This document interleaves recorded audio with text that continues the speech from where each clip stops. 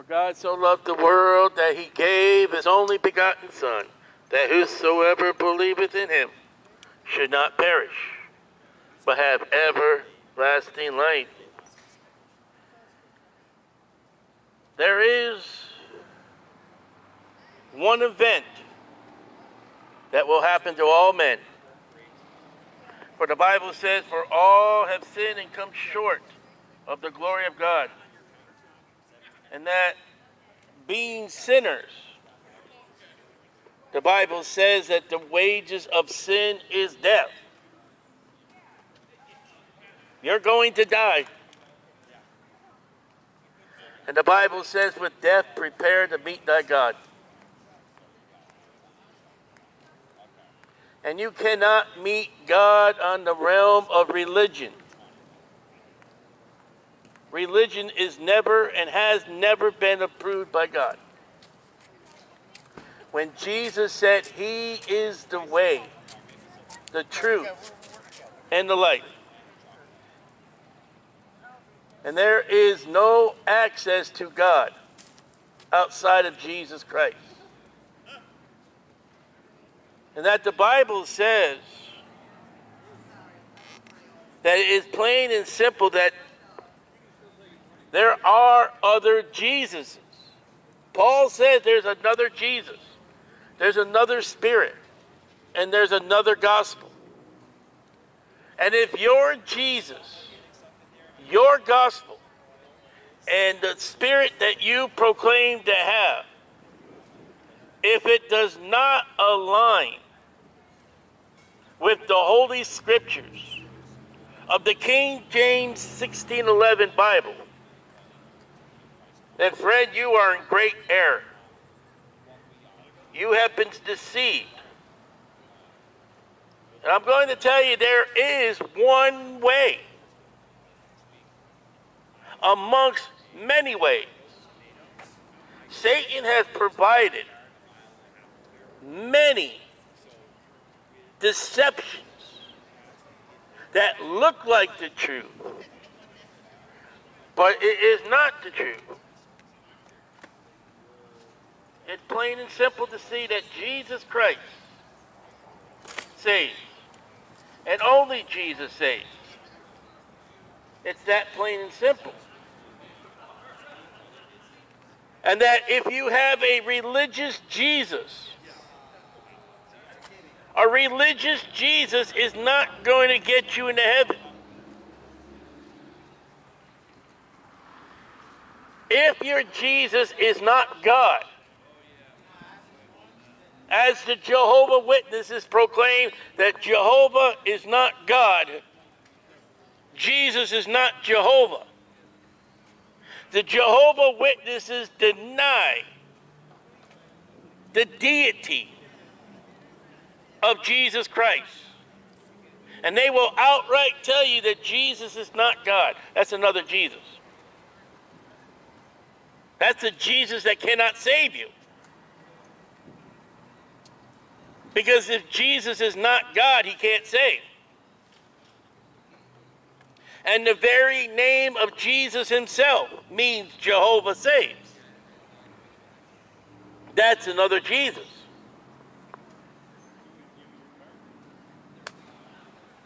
There's a Jesus amongst religions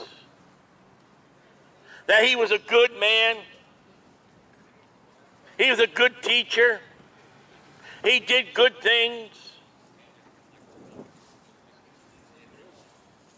Highly liked. That's not the scriptural Jesus Christ. Jesus Christ was so so liked that ended his ministry that they nailed him to a cross. Speaking the truth. Speaking of the Father. And they gave him and his disciples, minus John, a violent death for preaching the truth. Jesus was good, but not only was he good, but he is God. And that Jesus Christ came to seek that which is lost. He didn't come out to hang out with the homeboys. He didn't come down to party with the human beings.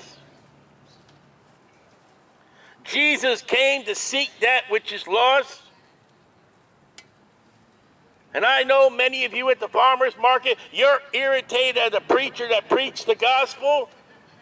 You wouldn't enjoy Jesus because Jesus irritated all those that were around him. Jesus irritated the religious people, the Pharisees, the Sadducees, and the chief priests, and the Roman government.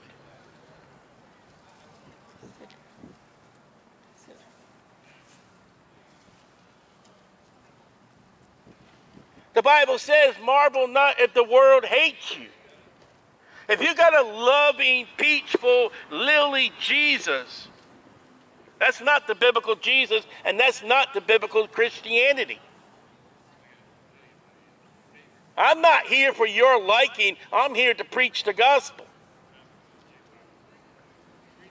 The fact is that Jesus Christ was given the cross. And 11 of his disciples, 12 you count Manasseh, were all violently killed for the word of God. And if you're going to come with lily messages and fun loving messages that we can uplift ourselves, if you come with a Joel Osteen message, that's not approved of God and that's not biblical Christianity.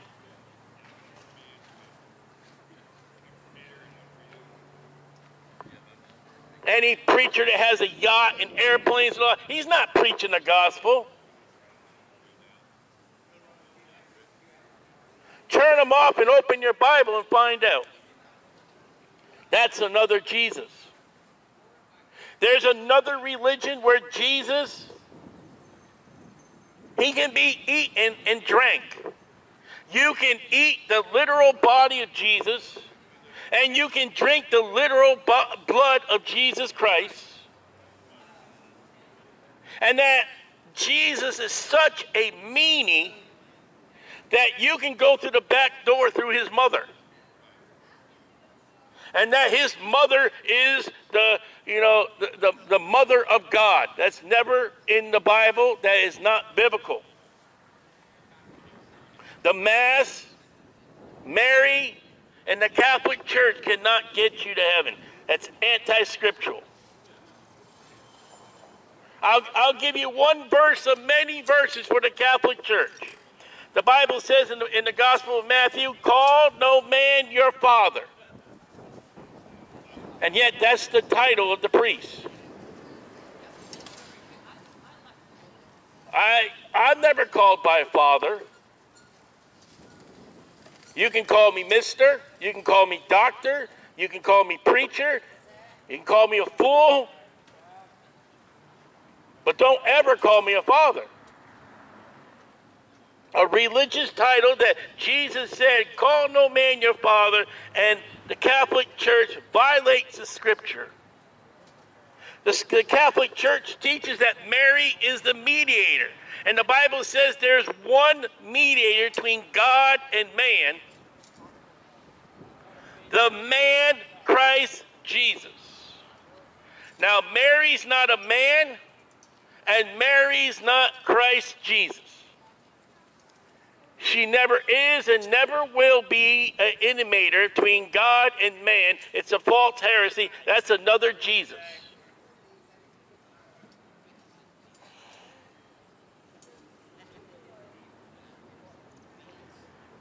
And then there's, you got the hippie Jesus, the strung out on drugs.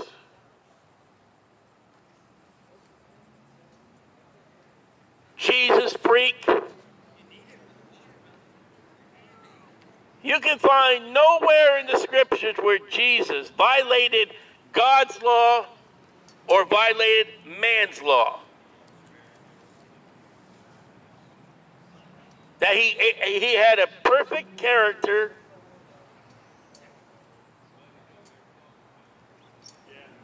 And in him was no rebellion at all. Because Jesus is holy and right. Jesus is God. You say, well, preacher, what is the difference between my Jesus, my religion, and your Jesus? And what you believe and what you preach? The empty tomb. It has been proclaimed by Jesus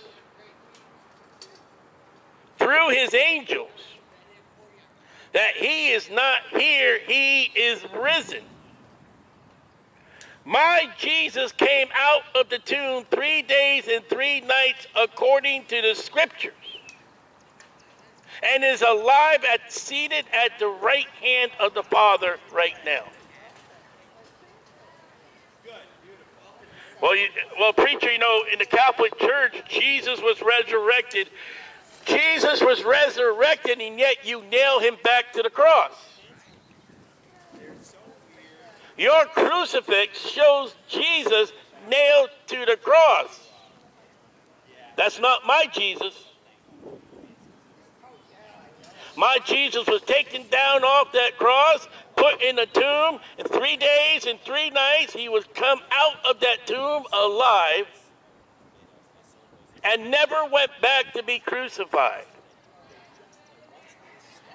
And yet, every time a Catholic partakes of the Mass, every Mass that happens, you are taking part in killing Jesus over and over. Where the Bible says in Hebrews, he sacrificed once and for all.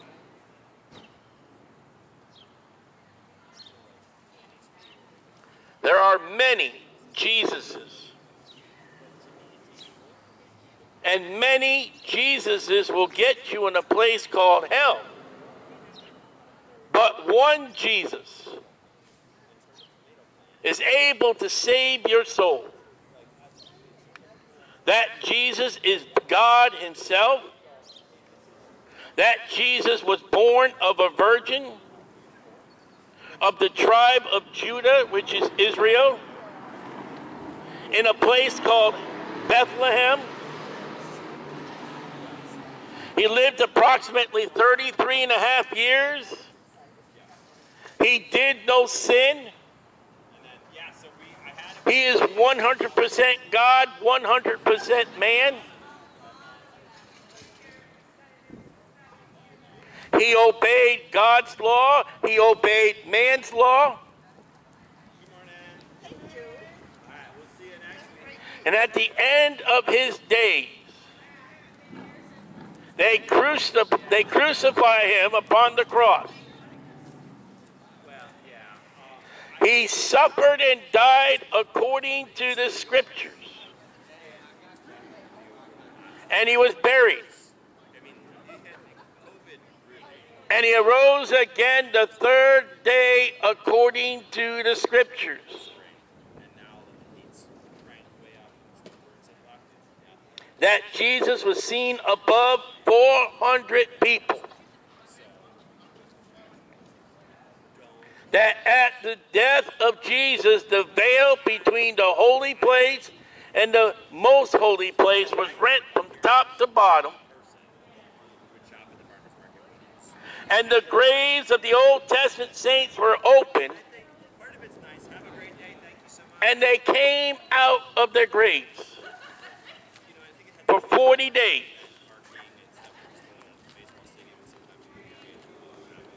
That the next great event of the Bible is an event called the rapture, where Christ will meet in the air, not on the earth, his bride, and take his bride, the church, home to heaven. The dead in Christ shall rise first, and they that remain shall be caught up together in the clouds. There'll be no lost people. All are not welcome at the calling of the rapture. Only those that put their faith and trust in Jesus will be called out by Jesus. And if you've been a spiritual imitator, you won't be called. Your name will not be mentioned at the rapture. You'll be left behind. All the masses of people that will be in a church, if the rapture happens during a church time, all the masses of the people that will be left behind because Jesus Christ will only call that that are his own. He knows his sheep by name. If you're not a sheep, you're a goat. You are lost. And Jesus came to seek that which is lost. You don't have to be in a church Sunday morning. You can receive and believe on the Lord Jesus Christ today, now. Right here on the, on the road, on the blacktop, right here on the brick top, and right here on the sidewalk.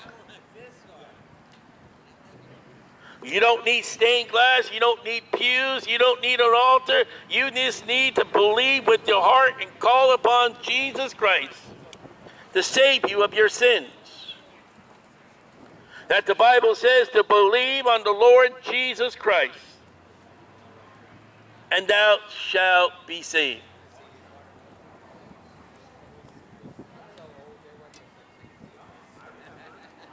That with the heart man believes unto righteousness, with the mouth confession is made unto salvation, that you today can be saved. You can call upon the name of Jesus Christ, God, to cleanse you of your sins, to wash you, that your name might appear in the Lamb's book of life, that you may be made a child of God through faith and belief in Jesus Christ alone, nothing else. Not how good you are, not how much money you give, not where you go. It's whom you have believed. Are you washed in the blood of the Lord Jesus Christ? Have you been to Calvary, where the blood of God, Acts 20 28, was shed for man and his sins. Because death is coming. For all have sinned and come short of the glory of God. That the wages of sin is death. But the gift of God is eternal life through Jesus Christ, our Lord.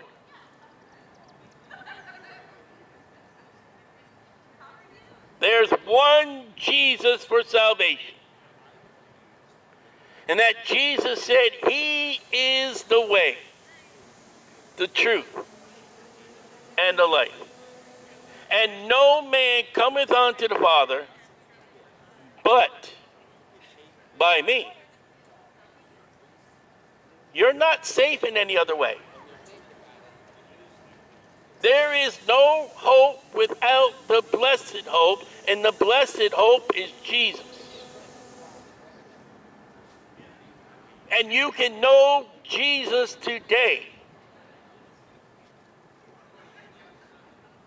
by faith and belief that Jesus is who he said he is and what the Bible says he is. And that he is able to be your Savior. When the Bible says, the Lamb of God will take away the sin of the world. And that Lamb of God can be your Savior today.